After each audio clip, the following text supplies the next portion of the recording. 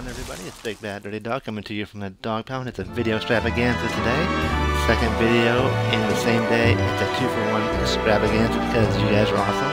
We're back here on Fortnite as we're getting ready for the item shop reset. And as you know, Thursdays and Saturdays we get brand new stuff. But before I get to that, let's go over some of the challenges that have been released. The last of the Ice Storm challenges are finally out. Last two are destroy members of the Ice Legion, 300 of them, and deal damage to the Ice Legion, 20,000. Yeah, Epic wants us to grind and grind hard. And for your troubles, you will get this cool little glider. As you can see, I don't put a whole lot of time into it, because I just don't want to. But on a but if you complete 5 out of 6, you do get a cool wrap, and I probably will complete maybe one of these if I'm lucky. Still got at least 4 days to complete those. And, speaking of new challenges, the Week 8 challenges are live now, and look at them, they're relatively easy. And with Team Rumble being active, you can go in there and pretty much knock these out. Easy peasy. Place go to the campfire or launch pad, pretty simple. Build structures, another easy one. Switch between Mysterious Hatch, Giant Rock Lady, and a Precarious Flatbed. Not too difficult.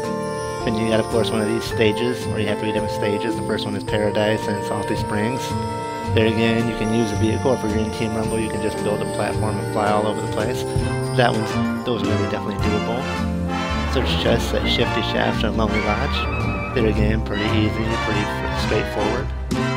Deal damage to opponents while riding in a vehicle. That could be a lot of fun. Get yourself a golf cart or a ATK. Could have a lot of fun with that one. Looking forward to doing that one. And explosive weapon eliminations. Break out them RPGs. So this week's not too bad. A lot of pretty simple ones, something you can probably knock out in a couple hours. And get your free banner this week. Hope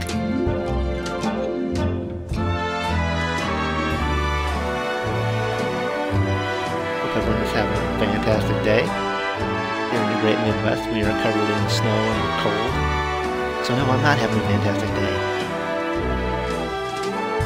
Got about 25 more seconds here. It's like New Year's, the countdown is on. Also for Thursday evenings and Saturdays when we get brand new skins. A lot of these skins have been released this week, so I'm kind of curious to what we're going to get. There's a couple cool ones I'm really hoping to get. Four, three, two, one. Happy item reset. Woo! Okay, so we're getting the Tech Ops outfit with the capacitor back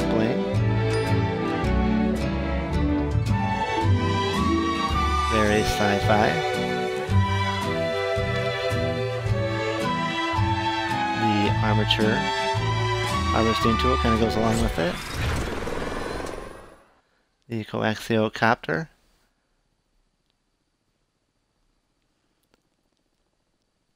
Eh, not too bad.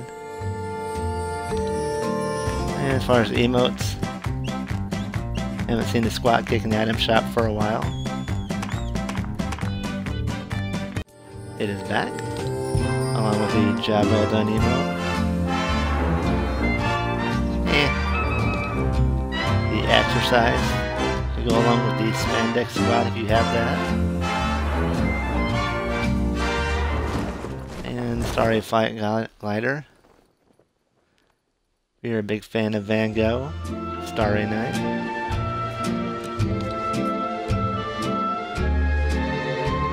Shade is back with the ballistic back bling. And finally, the Dazzle skin is out. So there you have it. All kinds of challenges to keep you busy, plus a new skin and new glider and tool. So as always, thank you for watching.